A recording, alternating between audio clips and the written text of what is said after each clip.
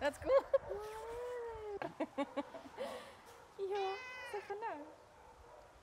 So the problem we currently face with COVID-19 um, and the lockdown that we have is the fact that we do not have volunteers visiting us.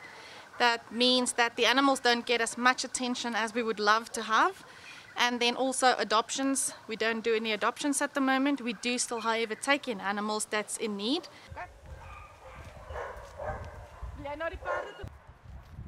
Maar as jy eers met hom gejoin het, dan is hy awesome.